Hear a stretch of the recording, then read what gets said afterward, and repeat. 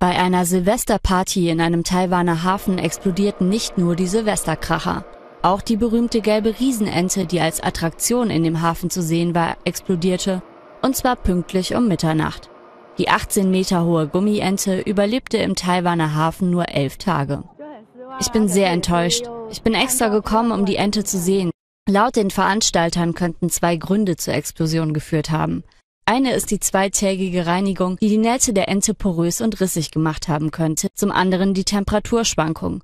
Rund um die Uhr wurde die Ente mit heißer Luft betankt, außerdem stieg die Außentemperatur nach einigen Tagen Regen stark an. Um die Fans zu trösten, stellten die Veranstalter eine kleinere vietnamesische Ente auf. Die Riesenente wurde seit 2007 bisher in 13 Städten in neun Ländern gezeigt.